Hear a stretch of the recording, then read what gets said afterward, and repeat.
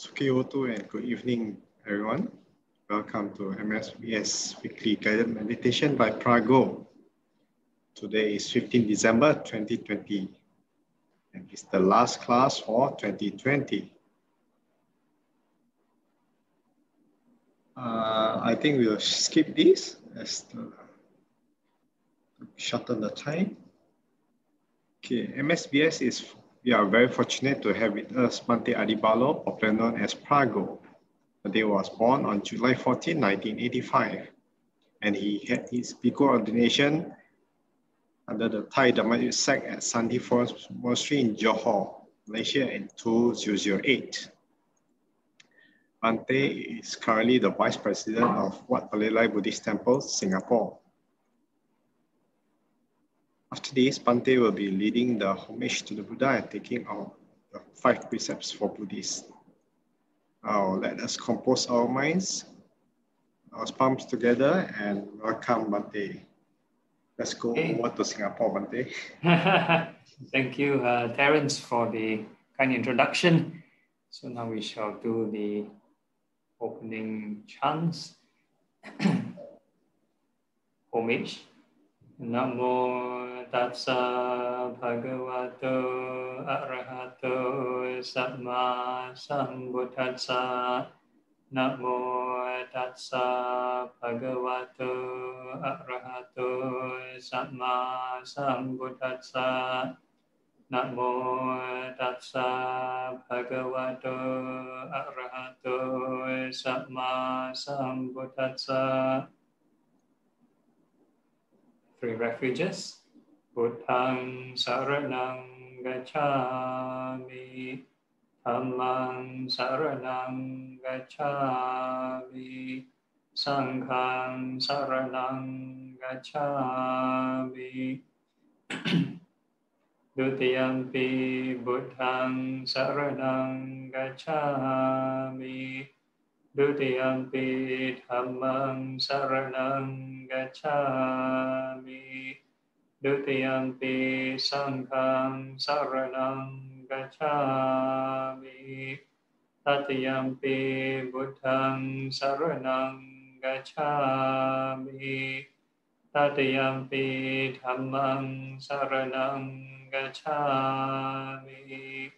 Tatiyampi Sangham Saranam Gacchami. And the five uh, precepts. Panatipata Viramani Sikhapadang Samadhiyami Adinadana Viramani Sikhapadang Samadhiyami Kamesu Michachara Veramani Sikhapadang Samadhiyami Musawada Veramani Sikhapadang Samadhiyami Sura Miraya Majapamadatana Veramani Sikhapadang Samadhiyami sadhu, sadhu, sadhu. All right, and good evening, uh, brothers and sisters of the Dhamma. Today is the last lesson for 2020, uh, this Tuesday's MSBS session. So today's uh, topic is again on dependent origination. Uh, hopefully we can clear by today. I think we should clear by today. There's only one PowerPoint slide left. Uh, so we just need to run through the, the key tenets you know, for those who are new here, right? Uh, what we have gone through. Okay, so uh, next slide.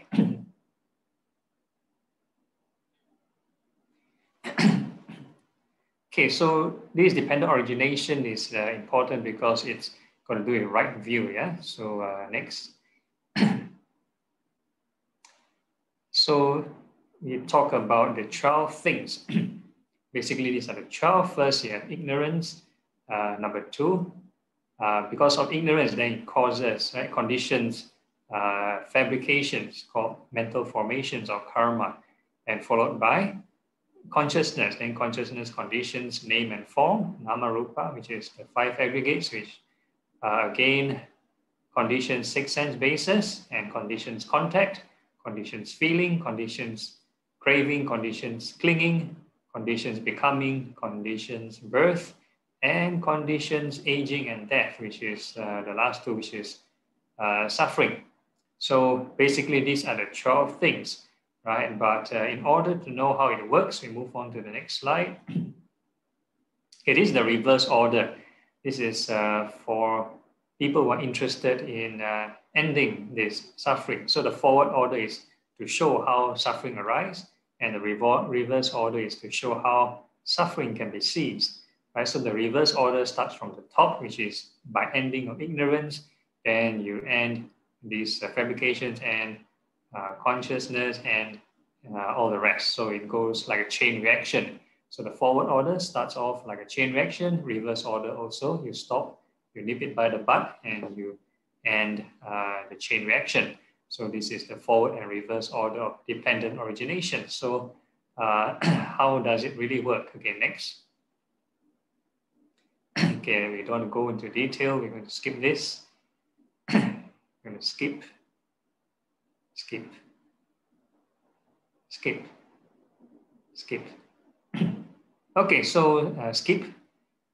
All right, okay, so basically uh, how it actually functions, uh, regardless of whatever method we try to uh, understand dependent origination, it's usually uh, this model, right? So this is the first uh, methodology of understanding dependent origination. So depending on eye and forms, eye is your six sense bases, your organs, uh, then the form is basically like the screen you're looking at now. Yeah, yes, shape, yes, uh, no, certain colors, certain shapes. Then uh, arises eye consciousness. Right. So there are many things going on. We have so many senses. We have the uh, ears, the nose, the tongue, uh, the body, right? The sense of touch and the thinking. So all these are our different uh, doorways to experiencing the world. so when we have these organs and we have the external uh, object, external stimuli, then uh, when we pay attention to it, then it's called uh, arising of that consciousness. So if we are paying attention from our sight, then it's called eye consciousness. If we are paying attention from our ears, it's called ear consciousness. So when the three things meet, right, which is your organ, the external object, and the awareness, then this three is called contact. And when there's contact, then it comes feeling, right? So it's either pleasant, unpleasant, neutral feeling, and followed by craving. So if you have uh, pleasant feeling, the natural uh, default programming, the kind of uh, reflex, kind of action, untrained, uh, unconscious kind of reaction would be greed. And if you have unpleasant feeling, then the uh, automatic response or the reaction would be aversion or hatred, right? So the craving has two things, either greed, hatred, or one more, uh, delusion. So if you have neutral feeling, right? If let's say you look at a screen or hear some sound that you find it neutral, then uh, you, you have this delusion, which is you believe you know, things will stay the same, things will stay permanent.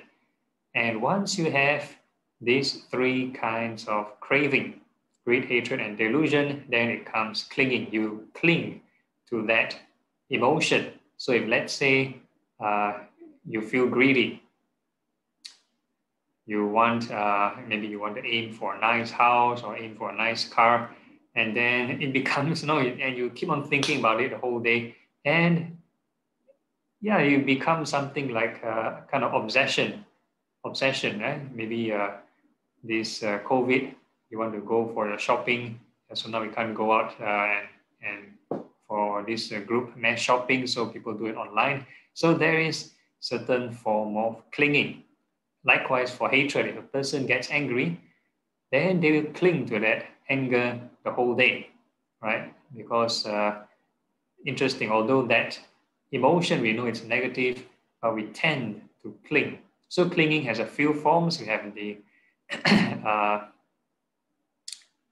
sorry, the next one is becoming. Becoming has uh, a few form, right? This uh, desire becoming, form and formless becoming. So depending on what you're clinging. So if you're clinging on uh, this human uh, realm kind of six sense desire pleasures, then you have this thing called the desire becoming. And if let's say you meditate and enter into concentration, then you cling on to form and formless uh, kind of concentrations, then you become form and formless becoming, right? Then which will lead to birth, and from birth, then you experience aging and death. So this birth right here, uh, again, have various interpretations. It can mean literal birth. That means you know, a person born from the womb. Uh, no, I mean conception, getting pregnant. So that is one kind of birth. Or the other kind of birth is the appearing, appearing of the aggregates, appearing of the personality. So that is uh, the two different kinds of explanations. Either way, once we uh, cling and crave, then that would uh, start the cycle of suffering. Okay, next. Okay, then the next one is uh, cessation, ending of the of the world, right? So how it ends is if we are dependent on iron forms, basically the same, right? Then you have the three things, contact, and then the feeling, and from feeling, conditions, craving.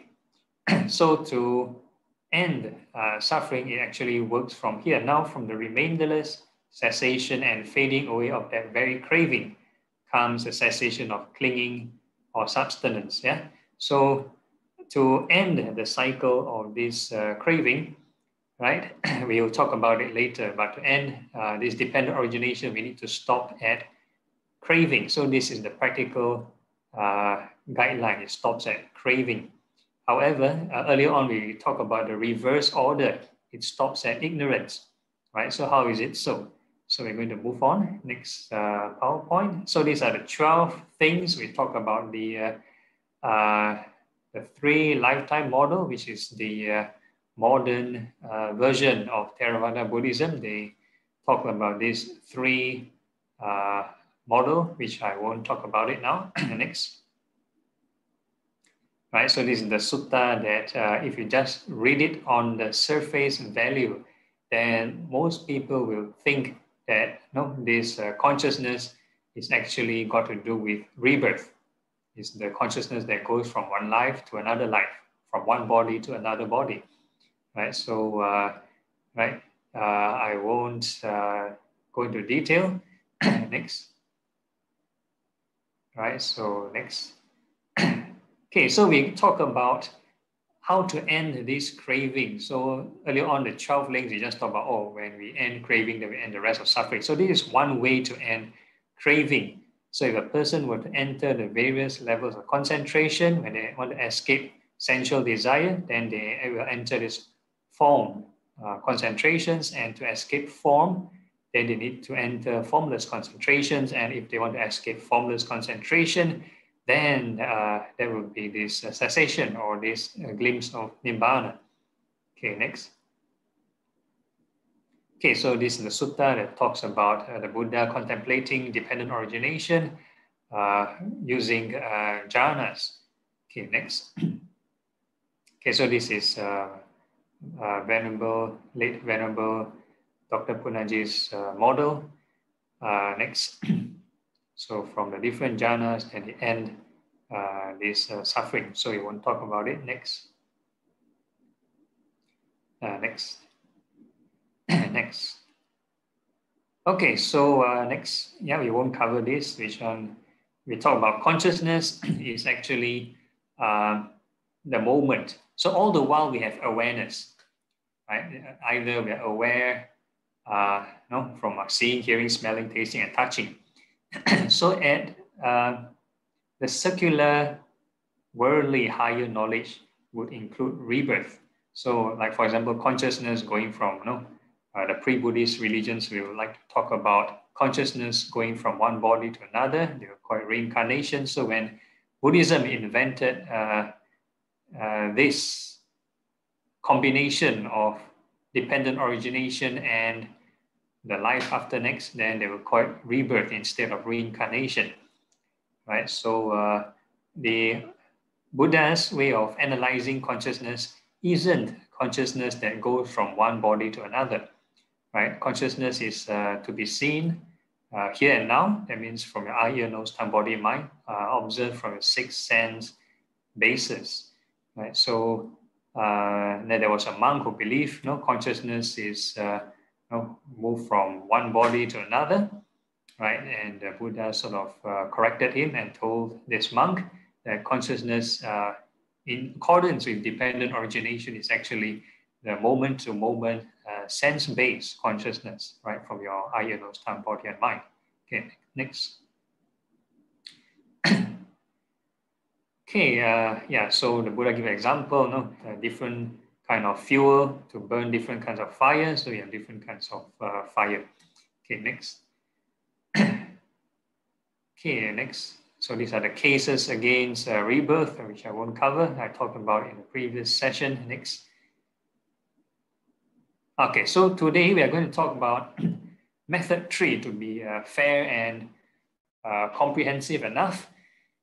so uh, likewise, if a person were to just read uh, this sutta and, and uh, Mahanidana Sutta only, then they will believe uh, this uh, recalling of past lives as essential and crucial to understanding dependent origination. Yeah, so that's why they break it up into the three lifetime model. You know, the first two links are the past, and then the several few links present, and the last two links as the future. uh, so again, um, but if we truly understand the uh, total context of the rest of the sutta, we bring into the rest into the uh, trajectory and we try to understand what is this uh, dependent origination about. So it's all about ending this uh, uh, craving. But if a person want to develop this method, it requires recalling past lives. Okay, so this one, method three, Iddhipada Vibhanga Sutta is the uh, analysis of the four bases of psychic power. So this is the method where people like to you know, read and try to you know, develop special abilities. And uh, we, in Buddhism, we said there are six higher knowledges. Six higher knowledges. The first five considered as worldly knowledge. So the, the five we've, uh, we've covered in the last lesson in the Susima Sutta. The first one is recollecting past lives. You know, can be yourself or others. So this is the first higher knowledge. And the second higher knowledge will be uh, this uh, divine eye, you know, seeing long range, seeing unseen beings like the heavenly beings and the ghosts. And the third higher knowledge will be divine ear. That will be the hearing of the divine beings and also long range, right? And the fourth ability is mind uh, reading, right? able to read the thoughts of others. And the fifth higher knowledge would be like telekinesis, you know, flying, uh, walking through walls, walking on water, whatever it is. So all these are the five uh, higher worldly knowledge. that is to say, uh, these abilities can be developed by anybody that uh, doesn't strive for enlightenment, or you don't need to be enlightened to have all these abilities. Some beings are even born with such abilities. uh, excuse me, like heavenly beings, they are born with all these abilities. And uh, similarly, likewise, you know, hungry go uh, those uh, ghosts or spirits, they also have this. And interestingly, as animals as well, right? Sometimes we hear of reports before a natural disaster coming, like tsunami or an earthquake, they are the first ones to escape or run away. So these are the uh, lower realm beings. They don't need to meditate. okay, so having said these are the five, and we include the last one, the sixth higher knowledge is the uh, knowledge pertaining to ending of the defilements, which is uh, nibbana or enlightenment. So there are total six higher knowledges in Buddhism. Okay, so uh, this method, uh, if you read the entire sutta, is actually a combination of this light nimitta samadhi and vipassana. Right, so if a person just solely develop this light nimitta, right, where a person focus on these uh, uh, there are four criteria. First, they need to have a desire. They want to uh, have interest, strong interest to develop. And second, persistence. Uh, third is the strong intent. And fourth, uh, discrimination, able to discern and differentiate uh, the thoughts from whatever your vision is. So this is the four criteria to develop these uh, four bases of uh, psychic power. If not, if you don't have this discrimination, then uh, some people might go crazy. They can't differentiate uh, their stray thoughts uh, from their visions and vice versa. and okay, so there are a few of these uh, things they need to do. First, they need to visualize. It can be from the body, any kind of visualization exercise actually. So it's the body and also the main one is the perception of light the whole day. So day and night, they need to be uh, perceiving or imagining this uh, white light. so the whole idea is um, remove this, uh, Desde que dejas cuando entras y sales, donde quedaron los besos y todos los planes. No sé si vivir o morir. Me encuentro en un limón desde que te fuiste de aquí. Eres la única persona que yo quiero que se venga y se me Mi libertad no la quiero, tampoco la. De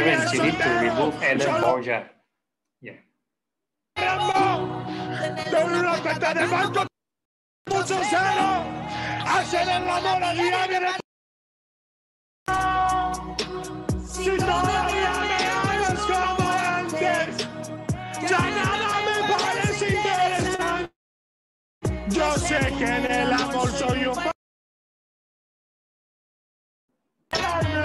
The user Alan Borgia is a troll, yeah, you must remove him. Okay, all right. yeah, he came in before once. Yeah, he never identified. He just uh, you know, play uh, music. okay, all right. So uh, now we continue. So these are the uh, four bases of this uh, psychic power, four qualities. So again, uh, like I mentioned several times in the meditation, in our uh, routine, we don't specialize in visualizing the whole day, right? So we try to keep this thing the minimum because it also brings along some risk, right? If a person unable to uh, uh, discern or don't have wisdom, then they might use it for wrong intent, or if they do not have enough good karma, enough good merit, then they will, uh, how do you call it? uh, no, have all the wrong visions and they might not get frightened, see horror movies the whole day. Yeah? So, uh, so in this Iddhipada Vibhanga Sutta, it is said that if a person were to you know, see all these uh, past lives and have all these abilities, then they also can reach liberation, right? So without uh, uh, jhanas, right? Interestingly, a person also can be uh, liberated. okay, so there's a case study where there are a group of monks came and see the Buddha. So the Buddha told uh, these monks that, okay, you know, for many lives, you have uh, died so many times in samsara that you're able to fill the whole ocean of the earth with your tears. So after explaining, you know, you've died so many times, then they reach liber- then they reach liberation, right? So this is the, uh, you know, for some people it might be possible. Uh, so again, uh, this is not meant for everybody, right? Okay, so I end the theoretical discussion here. So I leave the floor open for more Q&A because this is the last session for this year. All right, any questions?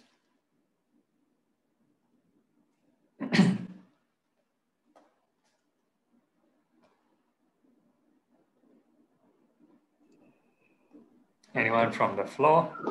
Okay. Okay. Yeah. Uh, is there any way to summarize what we have learned for this dependent origination? any way to summarize? Yeah, okay, uh, yeah, it's just the 12 links. yeah, just the 12 links. Okay, so we can go back to the slide on the uh, 12. Uh, forward, backward. Yeah, correct. Yeah.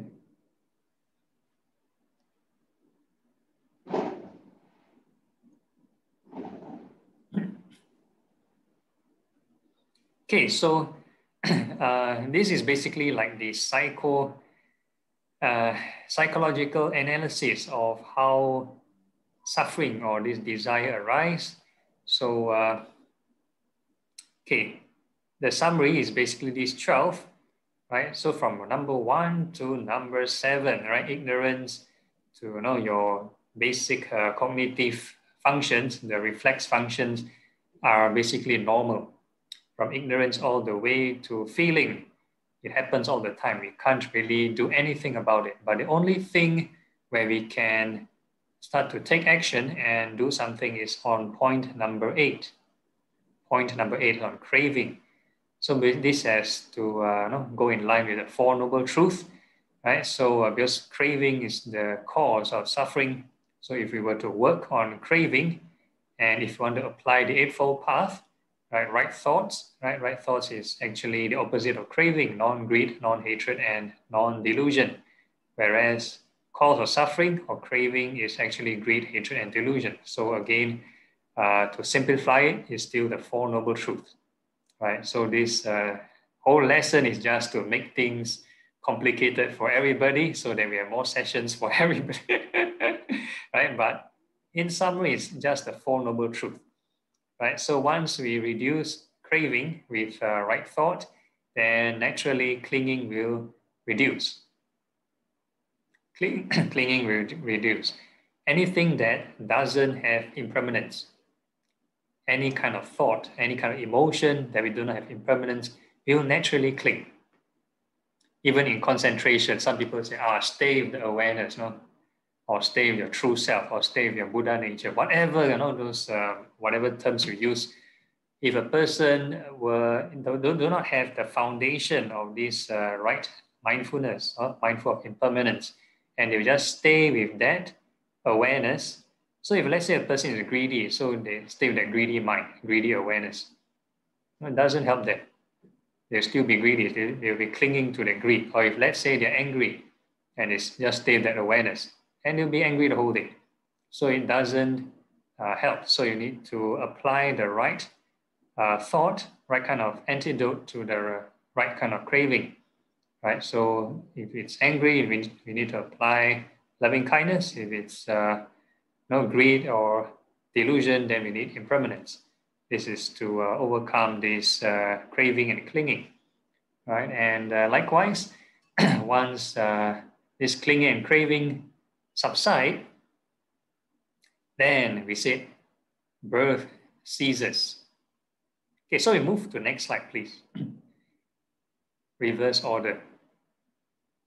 So when, for example, if let's say craving ceases, causing clinging to cease and causes this birth uh, and this uh, aging and death to cease, it's trying to say not the literal or physical kind of birth and death, birth, aging, and death, right? For example, uh, no, like in the Bodhisattva, the Buddha got enlightened, he removed ignorance, right? He still has mental fabrication. He need to think, he need to move around. He still has the five aggregates. He need to see, hear, smell, think, taste, and touch, right? So if we start from the reverse order, where he ended this ignorance, he still has all these functions, it still has all these functions. So what do we mean by cease? What do we mean by cessation? Right, cessation is the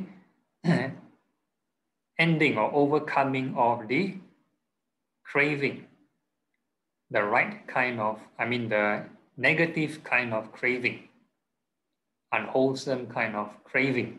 So this is the, uh, how do you call it, the cessation model the reverse order, right? So if a person, likewise, if they were to apply, you know, removing crave, uh, cessation from greed, from craving, then how about aging and death? Okay, let's say a hypothetical scenario. No, let's say you overcome craving. Does that mean you won't grow old? Does that mean no, you won't pass away? Right? Physically, we still go through aging, sickness, and death, right? So when the Buddha gave his first discourse, he mentioned he wanted to beat the death uh, drums of deathlessness, overcome suffering, overcome birth, aging, sickness, and death.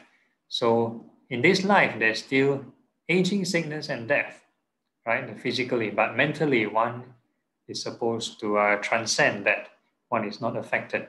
So we talked about how is it so? Because the uh, method is to overcome this ego, the sense of I or sense of self. So that is the uh, number 10, right? Cessation of becoming.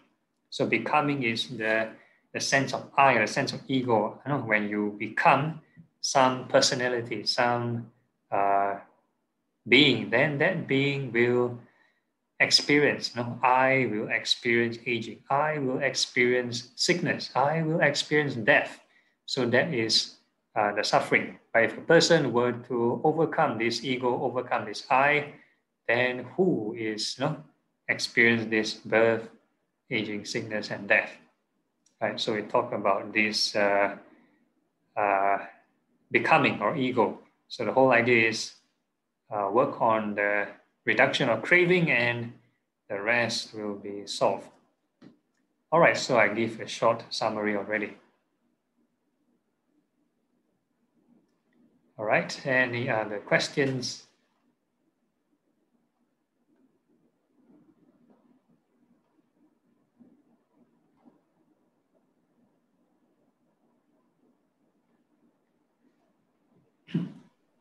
Okay, there's one from Facebook. Okay. Can Ajahn clarifies whether Theravada Buddhism believe in becoming or rebirth? Some said it is becoming and not rebirth. I am confused. Thank you, Ajahn. okay, uh, there is uh, rebirth in Theravada Buddhism, even in the uh, original sutta. This one is more, you can find it more on the point number 10, the link number 10. So it can cross-reference with uh, Maha Tanha Sankhaya Sutta, you know, the, the sutta where the Buddha reprimanded this uh, monk called uh, Sati that believed that consciousness is the one that you know, uh, goes through uh, round this uh, cycle of rebirth. okay, but anyway, uh, there's the mention of the descent into an embryo, a descent yeah, this uh, or, or if you want to talk Mahanidana Sutta, is consciousness that descend into this uh, embryo that causes conception. So it happens or occurs at point number 10, link number 10 on this birth. Sorry, uh, link number 11. okay, so in this Mahanidana Sutta, he's uh, talking about, uh, no, from uh, yeah, if consciousness were not to descend into the mother's womb, with name and form, right, take shape in the womb, right? Then another said no. So this one, this sutta is talking about uh, the Buddha gave an example on conception already. In this uh, sutta, I talked to Terence before, it's uh, talking about from point 12 to point 1, link number 12 to link number 1. So the Buddha is giving the nearest example because link 12 is talking about aging and death, and this uh, link 11 is talking about birth. So when the Buddha goes down uh, the order and he talks about this uh, name and form, then he carries on with the example on birth. So a lot of people would uh, mistaken uh, nama rupa as uh, this mind, right? This consciousness entering the womb, and that process called nama rupa right? But uh, the earlier question is there a rebirth? Yes, there is. So it's in the link, link 11 on birth. All right. Hopefully that answers the question.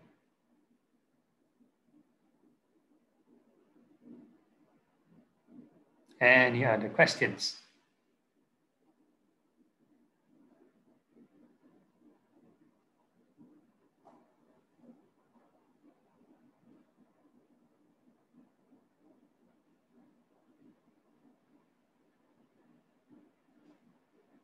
Everyone here all uh, understood? Terence, you're muted.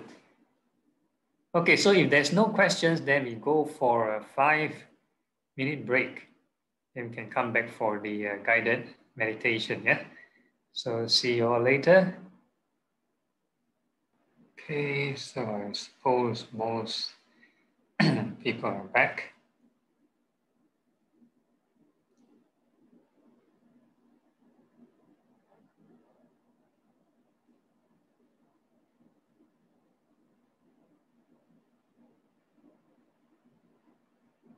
Okay, and uh, once we are uh, ready, find a comfortable uh, position. Make sure our back is upright and the uh, muscles are relaxed, not tense.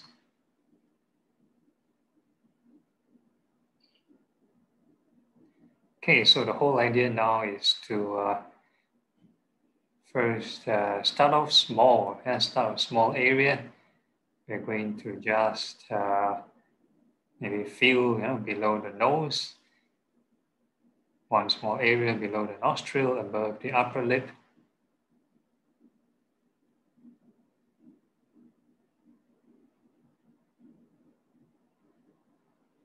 So when the attention is isolated in one small restricted area, then it's uh, easier to observe. So we can ignore the rest of the senses. We have six senses, right? Eye, ear, nose, tongue, body, mind. So by feeling the breath, we are using our nervous system, the sense of touch. So that is the uh, body door consciousness.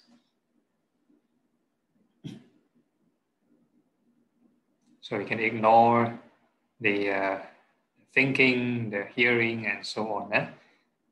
So all these sense doors are still there. Yeah, your eyes are still there, your ears are still there, your tongue is still there, and so on. Right? But we focus on just one uh, small aspect. So by feeling just the sense of touch, are we able to observe, let's say, the forward order? So, what is defined as stress or suffering? Right? When there's tension or discomfort, unease with the breath,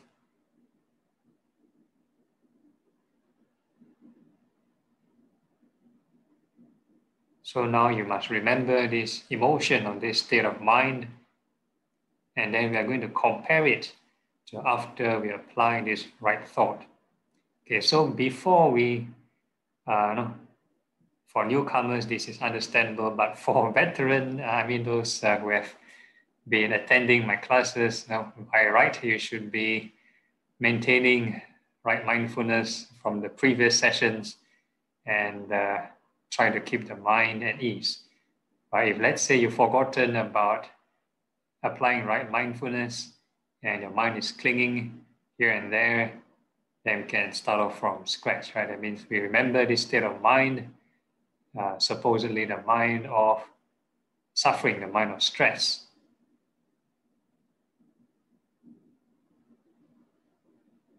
And how to overcome, how to reverse it right? So what we're going to do is we're going to apply right thoughts. Right, first, loving kindness towards the breath. So whenever there's an in- inhalation, when you breathe in, wish the breath well, and whenever there's an exhalation, right, you breathe out, wish the breath happy. So loving kindness towards the breath. Try to overcome this uh, craving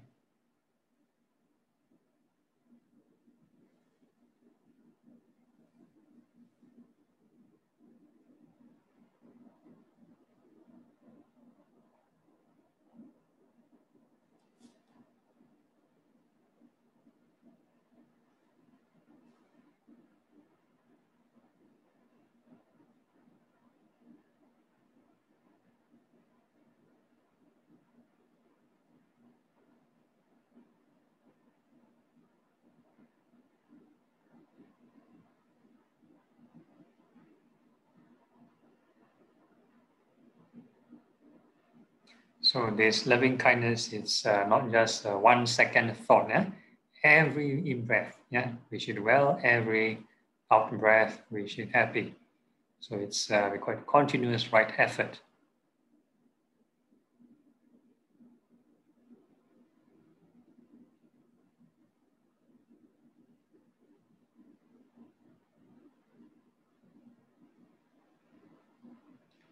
If there is no if there's no thinking, then one will be bound to delusion. Some people think meditation is just quiet, sit there and do nothing. No, that is not true. Meditation, you have to follow uh, Buddhist meditation, especially you need to follow the Eightfold Path. So there's right effort, right thoughts. So there is thinking. So in my routine, there's lots and lots of thinking. So some people are, are thinking, right? How can lots of thinking bring the mind into a state of calm? We call this skillful thinking. Because once you do not think, then all kinds of stray thoughts will enter. We call it five hindrances restlessness, worry, is uh, greed and anger, uh, doubt, sloth, and torpor.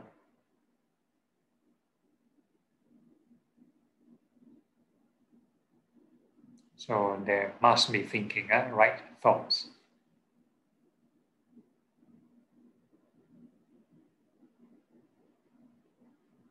Okay, so if you notice that the mind is uh, calm down in the process because we try to solve the problem, the root problem is that the craving. So uh, once we reduce the craving with right thoughts, naturally the clinging will uh, lessen and the uh, mind will be at ease. That means lesser tension or lesser suffering.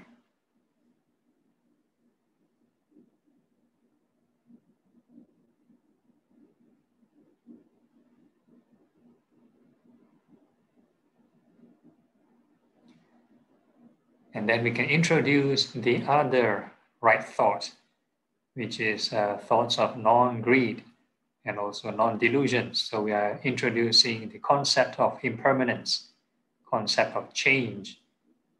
So whenever we breathe in and out, there is always change. Something is changing.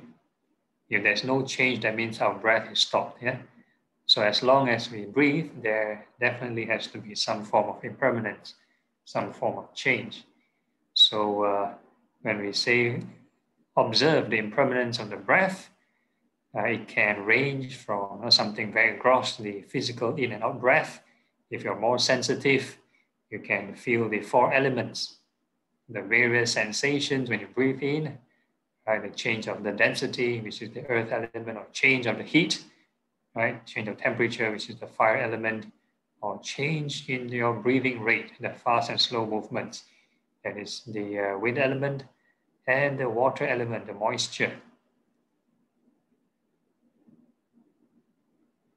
right? And uh, some people might even feel maybe mental energy, which is the subtle four elements. Right, so these four elements, subtle four elements can occur sometimes even outside the skin of the body. Okay, so whichever spectrum of sensitivity you are, the whole idea is not to forget impermanence. It's not to say which uh, spectrum is better, right? The if you hold on to anyone, even let's say it's very subtle, they hold on to the, let's say the sensitive, uh, subtle, refined energy or the refined impermanence, uh, refined, sorry, refined four elements. That is also delusion. So we need to be mindful of impermanence all the time, not to deliberately uh, force or exert or create this uh, change, but to be a passive observer and uh, take note of any change. So whenever there's a change, you sort of like need to remind or sort of like repeat as though like a mantra in your mind. Uh, this is change, this is change. This is rising and falling, this is birth and death, whichever terms you want to use.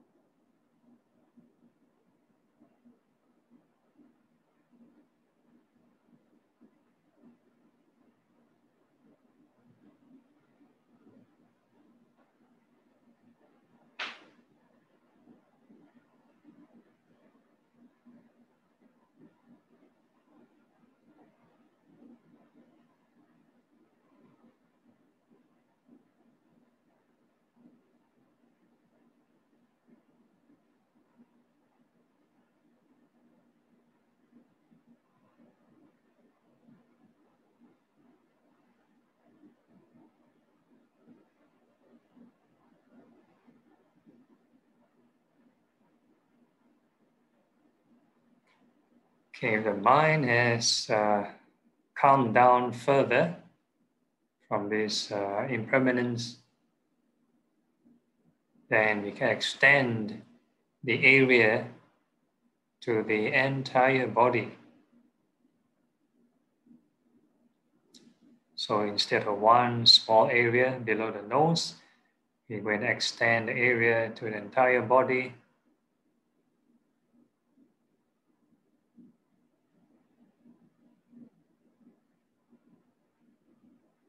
Whatever sensation it arises, then you must take note of impermanence.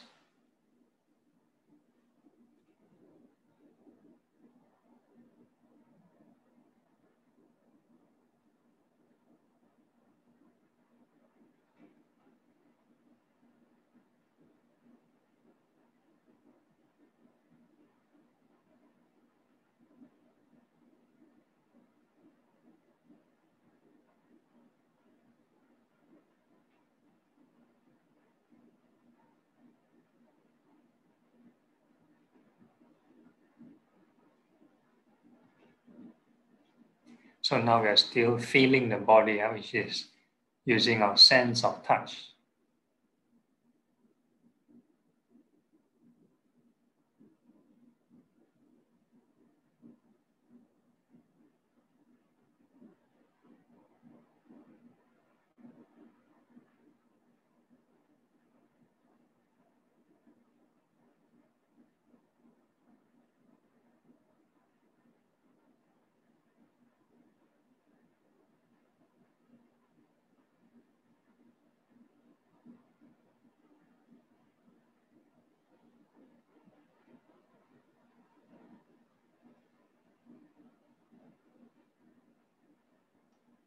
So although the area is uh, widened or slightly enlarged, the concept is still the same. Wherever your attention is at, whichever part of the body, the whole idea is observe impermanence, and the mind should uh, be less reactive. So observe whenever there's a reaction, if let's say there is a reaction with uh, craving, greed, or hatred, then you bring the mind to unease. But if there is right reflection, then the mind will be in a state of peace.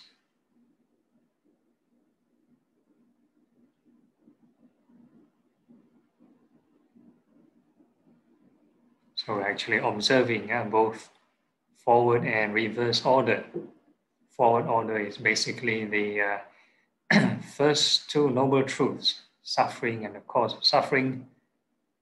And the uh, reverse order is actually the last two noble truths, uh, cessation of suffering and the uh, method we use to apply to cease this suffering.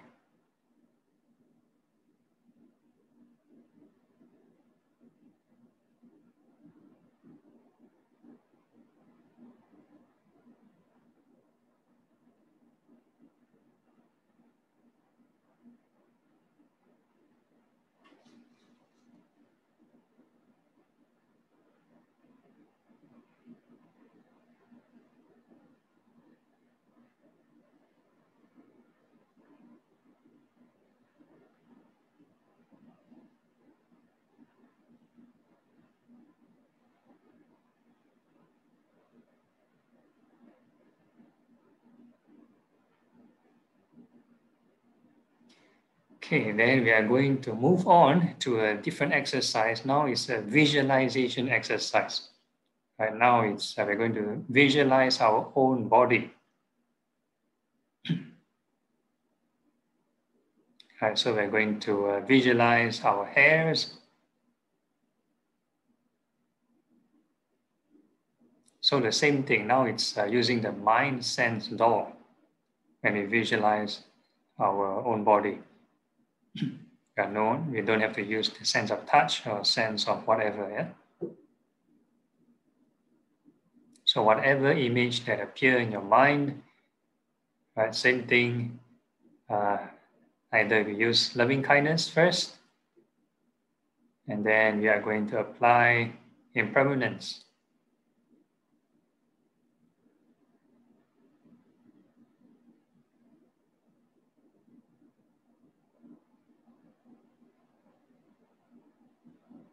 So impermanence would be the hair aging, decaying, and dropping off.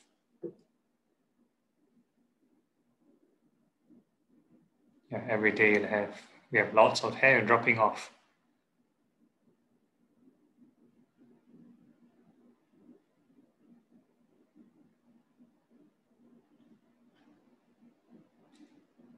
Okay, so the whole idea of this visualization exercise has to be in line with this uh, understanding of the Four Noble Truths. Uh, it's got to do with the detachment from uh, within the mind.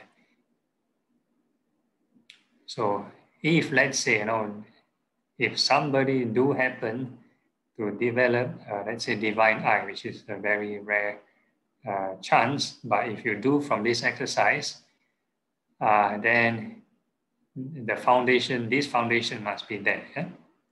To detach from within. If not, you have extra tools and the tools will become a distraction, a detour to your practice.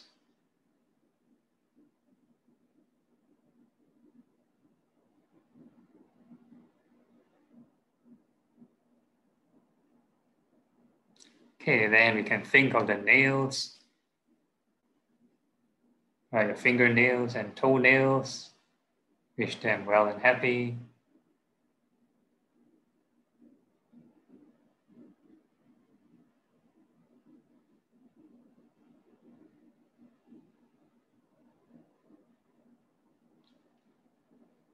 And uh, these nails go through this impermanence, birth and death.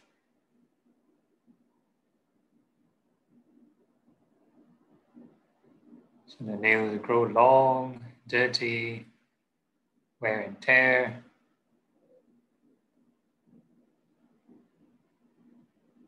And the nails fall off whenever we scratch something or whenever we cut them.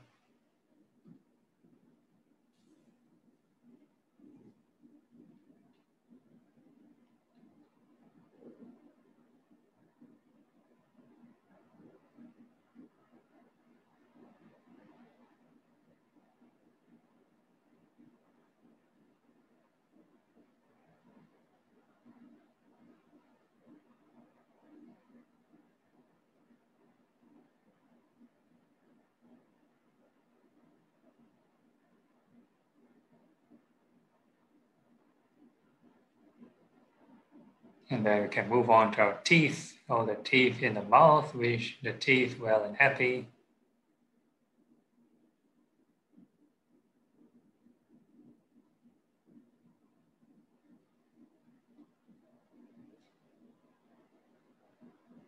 And all these teeth are subject to this birth and death.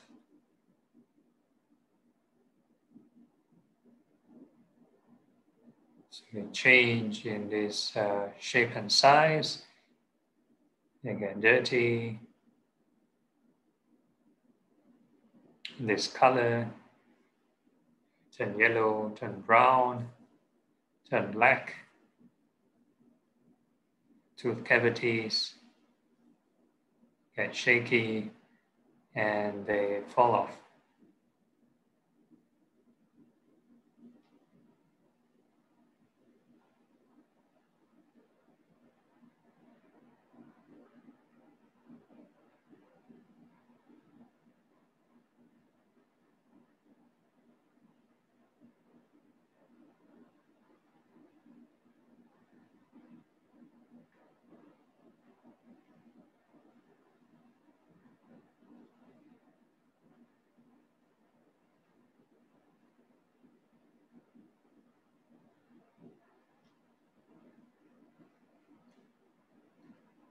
And then we can think on the skin, skin surrounding the whole body. We should well and happy from head to toe.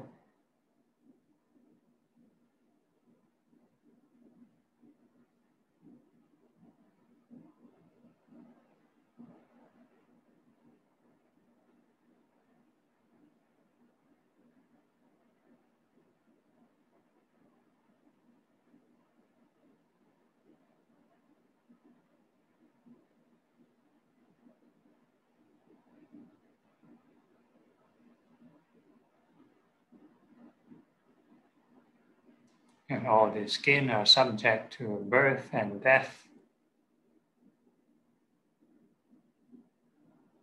You get oily, sweaty, dirty, and they wrinkle.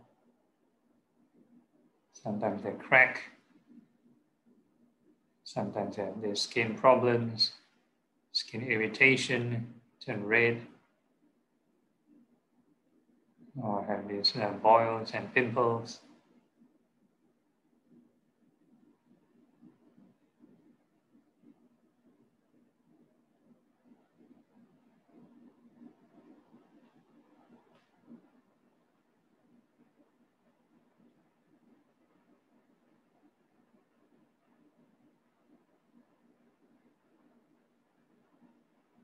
And the dead skin fall off every day.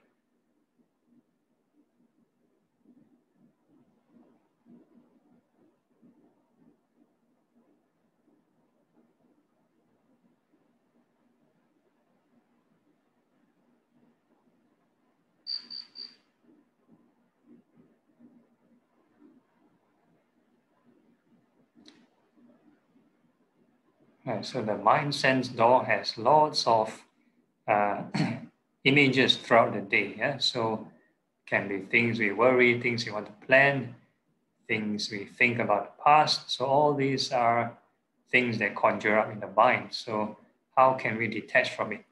Right. So if we cannot even detach from uh, all the dramas and the things going on in the mind, right? And if you want to you know develop seeing past lives, chances is uh, you will also get dragged into the dramas of the uh, past lives and you can't even detach. So we talk about detachment from here and now. Yeah.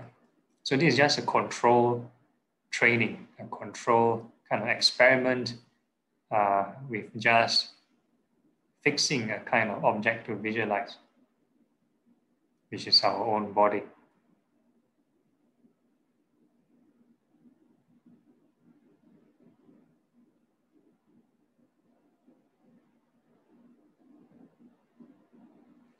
Okay, and uh, once we're done with this exercise, then now we are going to move on to another form of exercise, which is to have this uh, unrestricted awareness.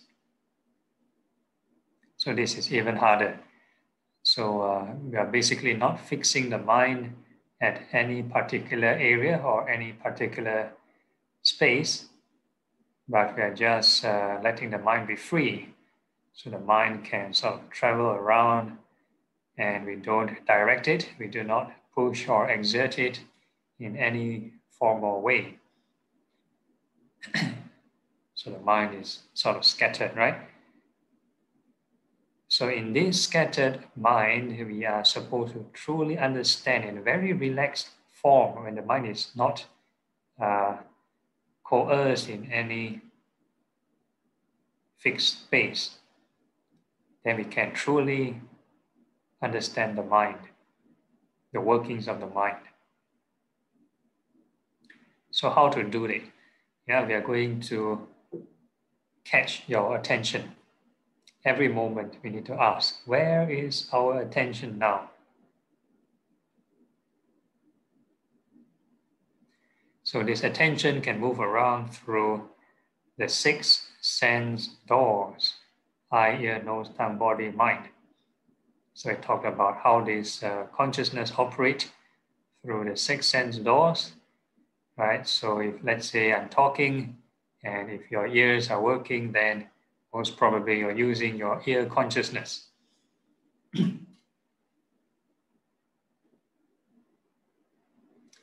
right, so when this ear consciousness, uh, if let's say I stop talking, where is your attention now?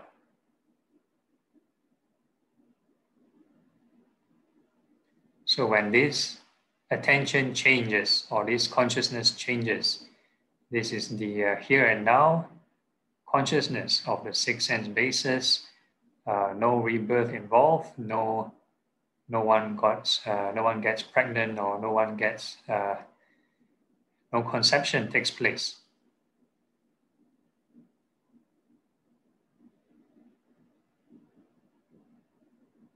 So when the mind is scattered, uh, you know, there are six avenues, right? Six sense bases, eye, ear, nose, tongue, body, mind. So the mind can go anywhere with the uh, sort of the strongest feeling, strongest kind of contact. It can be either pleasant feeling or unpleasant kind of feeling.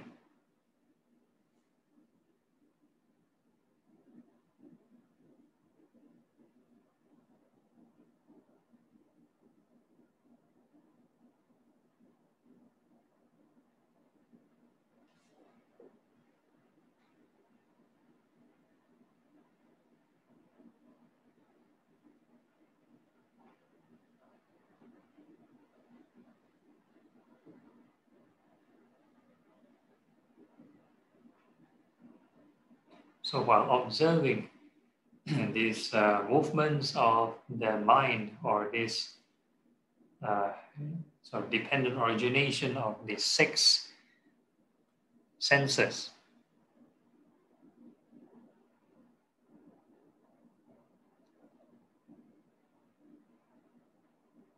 there's a high tendency to cling because now the area is so wide and all over the place. It's like freestyle, yeah?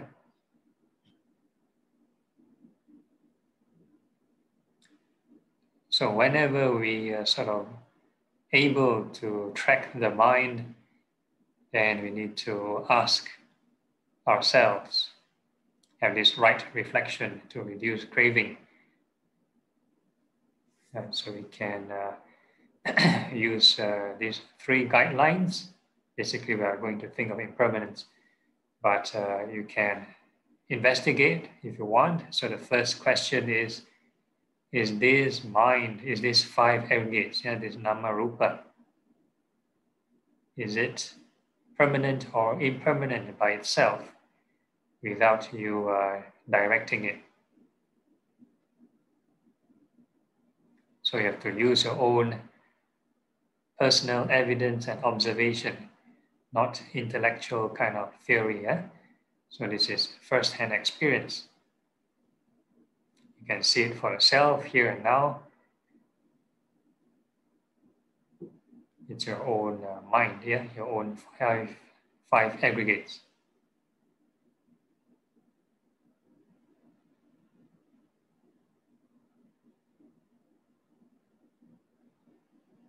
And the second question uh, is this five aggregates, yeah, this Nama Rupa. Is it truly self, truly ours?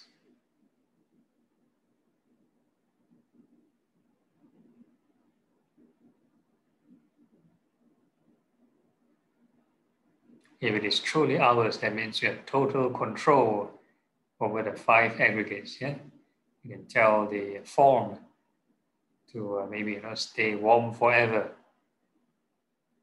Yeah, stay, uh, you know, change the element, stay moist or stay, uh, you know, stay dry, or whatever. or you can tell your feelings to be pleasant forever. Or you can tell your attention to stay at one place forever.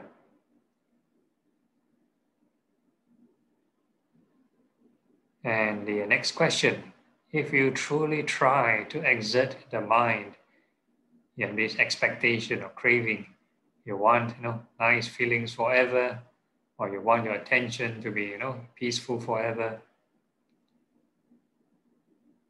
will there be suffering? Will there be stress? So we are basically understanding both forward and reverse order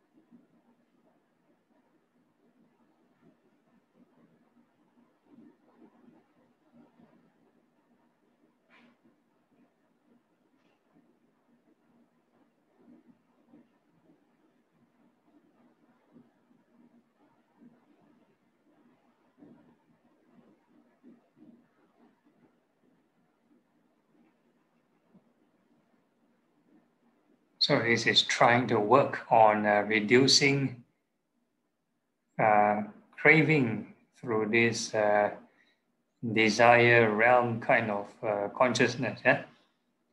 so what if we were to uh, upgrade the state of mind, upgrade this uh, consciousness? Consciousness has a different spectrum, also different quality. So desire realm kind of consciousness is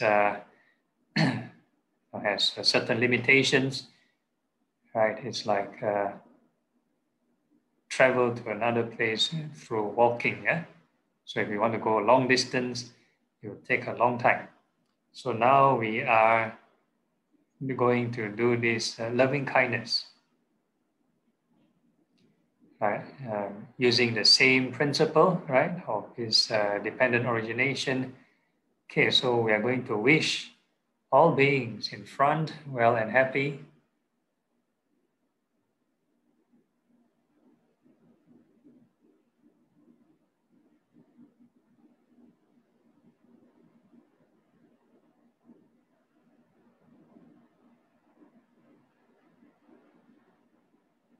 and we come back to ourselves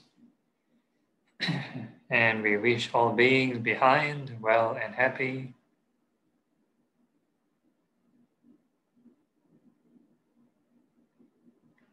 How we are deliberately directing the mind. Yeah? So the challenge is how to direct the mind without strain, without stress. How to be detached and directing it at the same time. So now we're training to be multitasking. Yeah?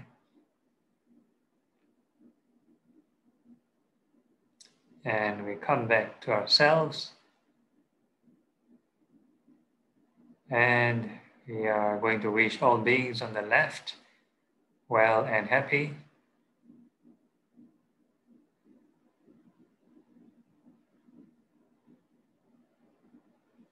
And we come back to ourselves.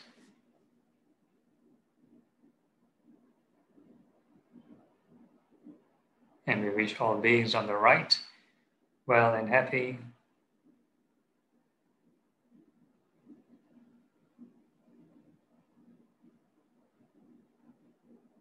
And we come back to ourselves.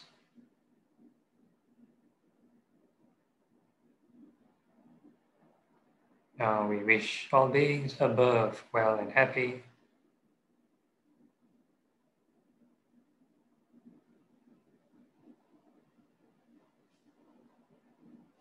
And we come back to ourselves. And we wish all beings below well and happy.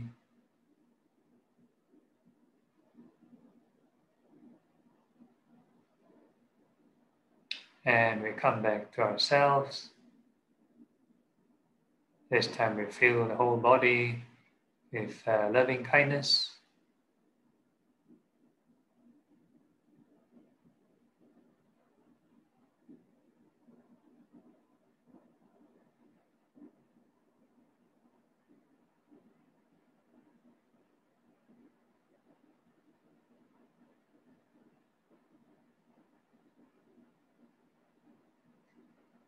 And eventually, we are going to wish all beings in all directions, above, below, and all across, starting from our house. All beings at home, be well and happy.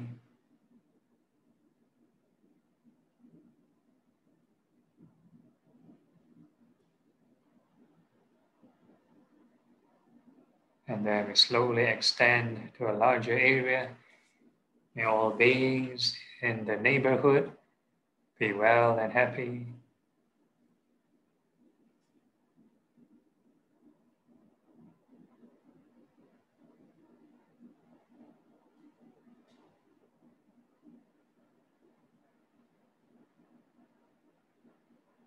And we can extend the loving kindness to the entire country, whichever country you're in.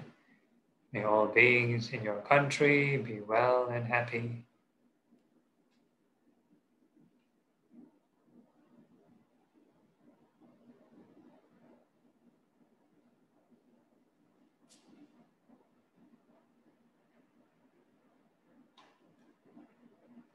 And then we can extend this loving kindness to the whole planet.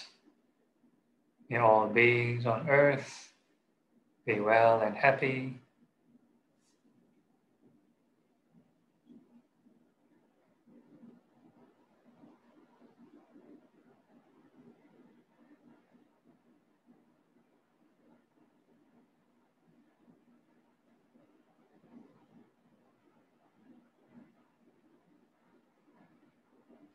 So as we wish for world peace, and make sure the mind also has inner peace.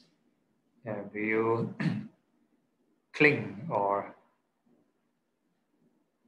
not cling? So some people can be very well-meaning, you know, wish certain person well, want to help certain person or want to help the country or help the whole world. Do they do it with attachment or detachment? has very different outcome. Yeah?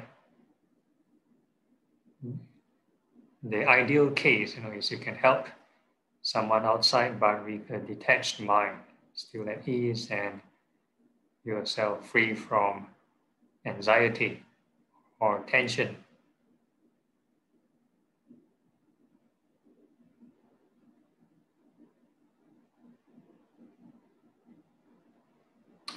And eventually, we are going to wish all beings in the entire universe, may they be well and happy.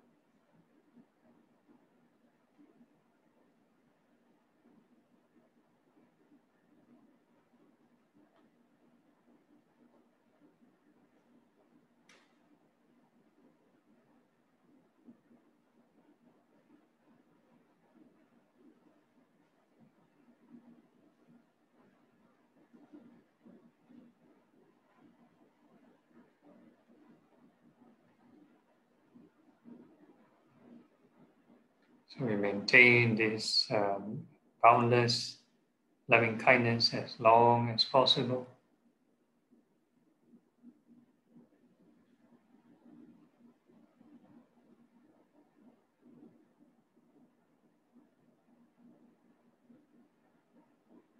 So this is an enlarged kind of consciousness. And the uh, before that, there's this thing called activities, formations. So we are deliberately generating this karma, yeah? or this uh, loving kindness. So you produce uh, a certain kind of consciousness.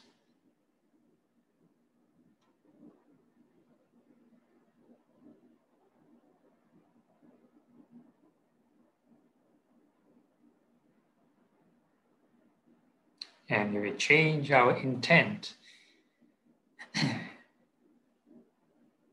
and we are going to switch it to compassion. Now we are going to wish all beings free from suffering.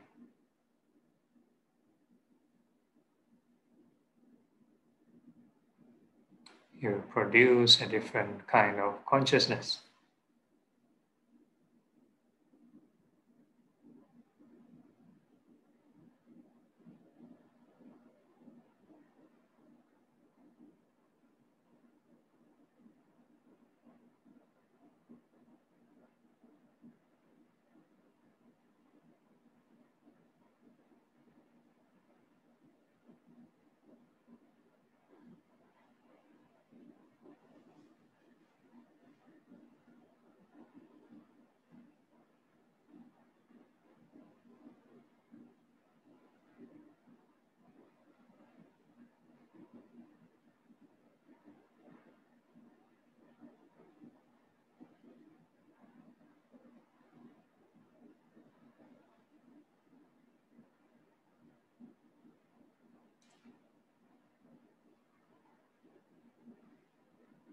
And then we can change the intent again, change this uh, volition, change this mental uh, formation.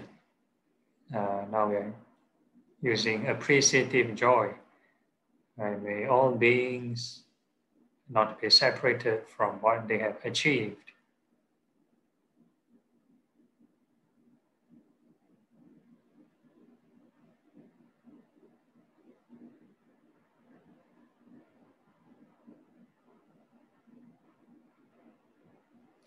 So sometimes these uh,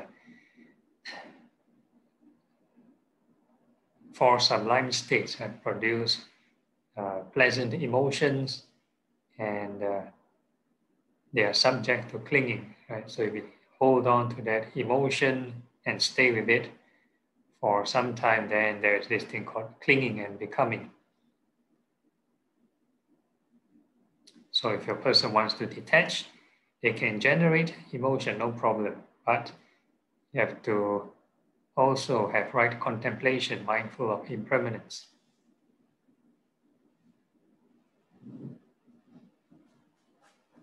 So this is where we practice certain equanimity, right? All these uh, achievements and sufferings, their ups and downs, It's all because of karma, yeah?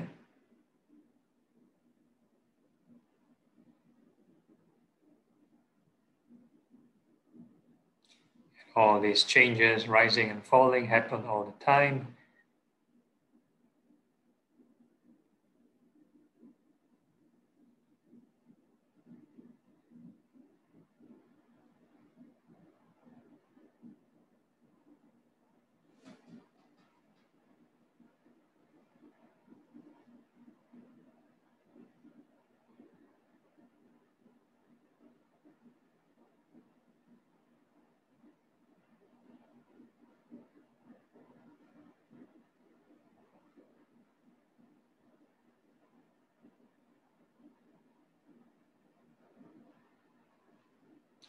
And uh, before we conclude the session, right, if we can maintain it long enough, uh, just another reminder from the Karaniya Metta Sutta, if a person were to be mindful of these boundless uh, sublime states, be it standing, sitting, walking, or lying down, then this is the highest conduct.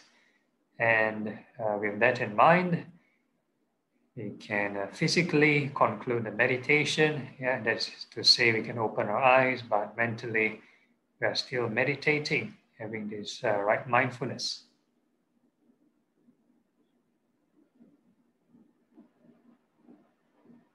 All right, so we have a few minutes for any uh, final questions, any issues or problems or questions that anyone want to raise?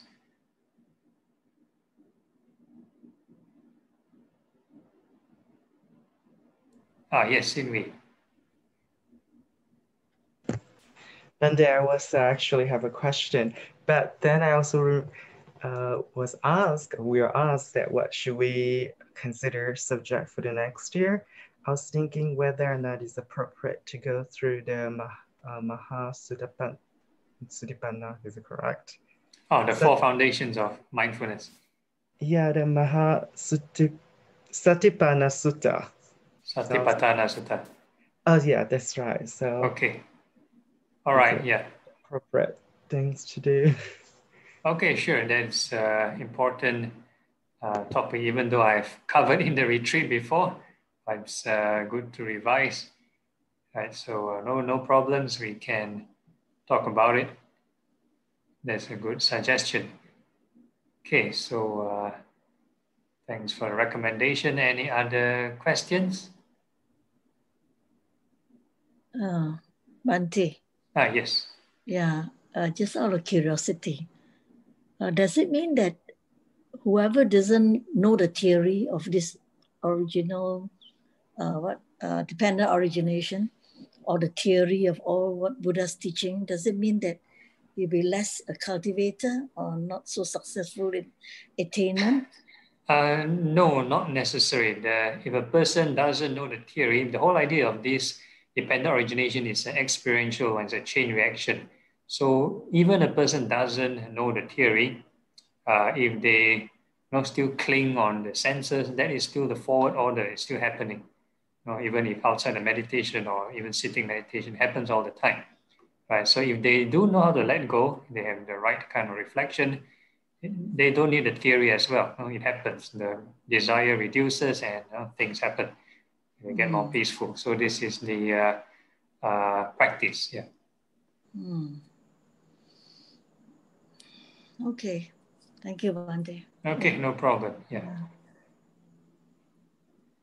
So before the Buddha taught dependent origination, uh, informally, I mean formally taught the dependent origination, there were already many disciples who got enlightened. they do not know the theory of dependent origination. Yeah. Yeah, that's right. So many arhats, right? Yeah, correct. Yeah. Okay. Yeah. Okay. Yeah, thanks. No problem. Okay. Yeah, so it has to do with the uh, uh, root teaching, which is the Four Noble Truths. The dependent origination is just expansion, just give more steps and more labels. Bhante, yes, Angie, yes. When I when we started with uh, breathing in uh, and breathing out, right? Then we are uh, well happy, well happy. And then we are supposed to contemplate on uh, impermanence. I don't really know how to do that part. How do you mm. on impermanence while we are breathing well? Uh, oh yeah, just, just feel the change.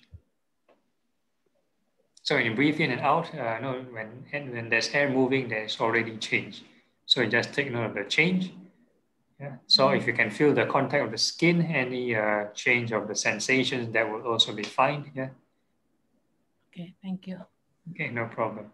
Then uh, one more thing you see, um, when we are doing the four sublime state, right? Hmm. Uh, during loving kindness, we we we uh, expand out all the way to the universe, so I could feel joy. And hmm. then we did the uh, the other one is the uh, karuna that was okay. Then yeah. you feel a bit more subdued, but it's still very pleasant feeling. Yeah. But mudita, I don't know how to uh, actually feel it how do you feel the the mudita? Yeah, so so you wish uh, beings uh, uh, something like congratulations, you know. So whatever beings, uh, whatever they achieve, may not may they not be separated from whatever they achieve. Yeah. Just say this uh, phrase, huh? Yeah, yeah. It's just a kind of thought. Yeah, you you uh, create this uh, mental formation. You create this uh, thought. Mm. Okay, thank you. I'll try. Okay, no problem. Yeah. Yeah. Okay. Angie, I, I told this Angie I'm going through into the Facebook to to follow. But I, I I seem to have pressed the old one. So when I realized you're talking to me, then I said, oh, quickly, I better come back here. I missed the earlier talk. Yeah, I was listening to a repeat. Oh dear, just sharing. see how IT savvy I am. I re, uh, Angie. No problem. You are getting better.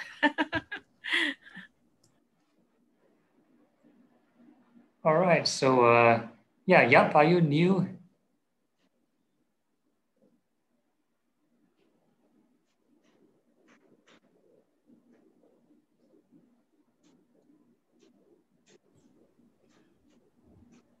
you need to find the uh, unmute button. okay, okay, okay. Uh, yeah. Uh, Namo Buddhaya Bhante. Um, yeah, I, am new to this um, session. Okay. I happen to see in uh, TBCM posting. Okay, so all right. So I just um, open and see what can I learn. Ah, okay, all right. Welcome. Uh, so do you learn anything new or find it useful? Um, I am a regular meditator myself. Ah, okay. So, um, I mean, as I listen, because I also listen to um, suttas. Hmm. So when I when I listen to your talk, I try to uh, blend in with what I I listen to. Hmm. Like uh, when when you were um, teaching just now about when we do meditation, um, we do um, or the four Brahma Viharas. Mhm. So I um I used to listen um in this sutta where the Buddha said um you imbued your meditation with I think I think a quarter of loving kindness, a quarter of is that related to what you're teaching just now? Uh, not not really, not really. Yeah, just uh, different uh, uh, Brahma Viharas. Yeah, we're just switching. Yeah. Okay. Mm, okay. Thank you for the explanation. Okay, no problem. Okay, thank you for joining. Uh, any questions? I think there's Uh, one from the chat, you see? Yeah. Oh, there is. I can't see anybody, any chat. Okay, I'll read out. Hi, Ajahn. Uh, during the meditation practice, when we ask these question example, was my mind thinking? It seems that we are talking to ourselves or like talking to a third person, i.e. the mind. I sometimes think I am going crazy talking to myself. Have I misunderstood something? Thank you, Ajahn. At which part? At which part? JC, do you want to unmute and clarify your question? Hello, Ajahn. Okay. Um, uh, at which part? Um, at the starting part, when we ask questions like, uh, or when we say, uh, "May I be well and happy?" Okay. Yeah. So, ain't I talking to myself? Yeah, yeah, yeah. There's the, the mind generating the, the sub vocalization. So nothing wrong. Yeah. So we need to have uh, these uh, right thoughts. So it can come in the form of uh, sub vocal thoughts or it can come in the form of uh, emotional impressions. So there are many ways to generate uh, these uh, mental formations. So no, yours is it's a class, it's instruction. So I will have to use no vocal, yeah. But if you can just generate the emotion without the words, that's also fine. Mm. Okay. Right? But to you. be sure it is correct, then it's good to uh, have uh, these uh, words as a guideline, yeah, to Mm. make sure you, you know, synchronize correctly. Mm. Or like when I'm asking what is my mind thinking when I hear something, that's also talking to myself, right? Yeah, it's a self uh, kind of evaluation. Yeah. Mm. Okay, thank So you. there's lots of uh, investigation also. Yeah. Mm. Okay, thank All you. right. Thank you for asking. Okay. Uh, yeah, maybe some people aren't used to questioning and talking to themselves. So yeah, different people, have different uh, experience. Okay. Any other questions?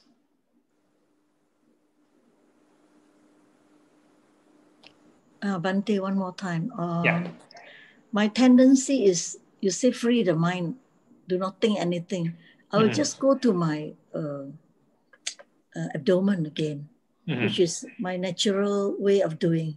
Yeah. Uh, it does work in a way once in a while because I think nowadays it works because whatever whatever things disturb me, I I'm okay. You know, it will go off. Yeah, Mhm. very fast it will go off. So, so I I wasn't maybe following what you're saying, like uh, free the mind. You know, Mhm. but automatically I'll go to my abdomen. So is that Mm. okay? yeah, it's uh, if you're used to that training, it's good. Uh, but you know, that's why in my my routine we have uh, different uh, kinds of training for different cognitive functions. Uh, just in case, you know, uh, let's say, uh, what if a person you know, gets uh, paralyzed you know, from the waist down? No, you can't. They probably they can't feel the abdomen. Right? Let's say the the neck, or no, they have this injury or whatever. So uh, can we still practice detachment? Uh, what are the contexts we cling on to? What are the contexts we experience? So uh, it's good to train various aspects. So when we are relaxing, we may not be feeling the abdomen. No, when we are, oh, let's say, you know, going to uh, the moment before we're going to sleep or just uh, waiting or doing nothing. So the mind is in a scattered mode. So can we still practice detachment? Right, but of course, if a person can uh, hold on to a meditation object uh, throughout the day, you know, uh, let's say loving kindness, or if you can feel them dormant throughout the day, then uh, yeah, that's fine by all means. Yeah. Mm. Yeah. Okay. They're more like using skillful means. Uh, yeah. yeah. Okay. Thank you. Thank you. Okay. No uh, problem. Yeah. Okay. Uh, any other questions?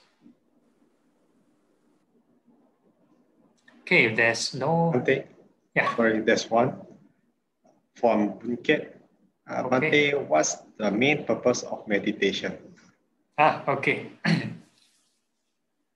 yeah, the uh, whole idea of mental cultivation, right? It's uh, it's in line with the noble eightfold path, right? It's to overcome this uh, suffering.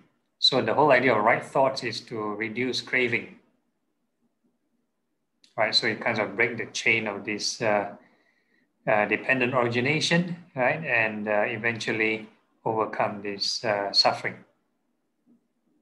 So hopefully that answers your question.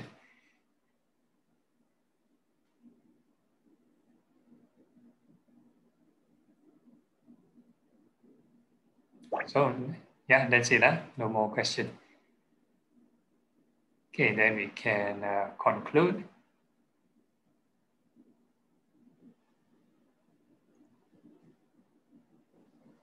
Okay, so we have the closing chant, the Anumodana, dedication of merits. Akasata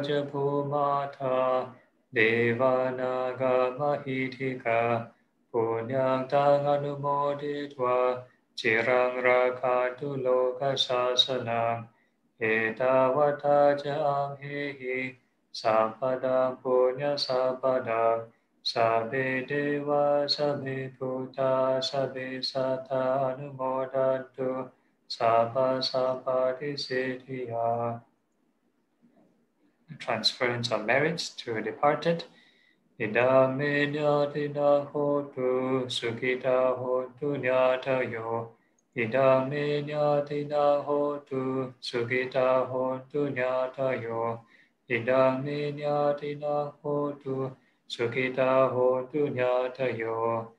And aspiration, imina punya kamena, mame bala samagamo, satang samagamo hotu, yavani bana patiya. Sadhu, sadhu, sadhu. And uh, wish you all uh, advanced uh, Happy New Year and uh, see you all next year, 5th January. Yeah? And the topic will be uh, suggested by Sinwi, these uh, four foundations of mindfulness. Okay, so that's it. Thank you, Bhante. Okay, no problem. Thank you. Thank you. Happy New Year. Good night. Yeah. Sadhu, sadhu, sadhu. Sadhu. Thank you, Bhante.